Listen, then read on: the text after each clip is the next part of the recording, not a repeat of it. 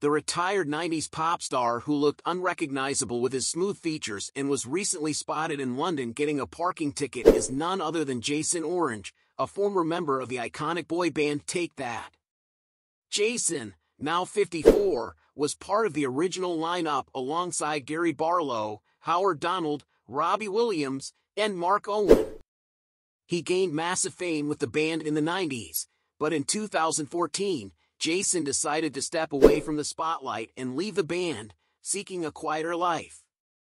He has since kept a low profile, making only occasional public appearances.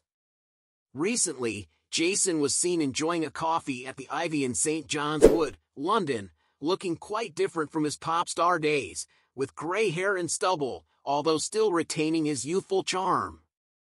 His sighting, which included a classic Mercedes and a surprise parking ticket, brought back memories for fans who fondly remember his time with Take That. Despite his smooth complexion and casual style, Jason's decision to live a more private life seems to be one he has embraced wholeheartedly. His departure from the band in 2014 left many fans feeling heartbroken, but his bandmates have expressed respect for his choice, with Gary Barlow commenting that Jason didn't want any creative involvement and wanted to live life away from the spotlight. Even though Jason has distanced himself from the limelight, his legacy as part of Take That's global success still resonates with fans today.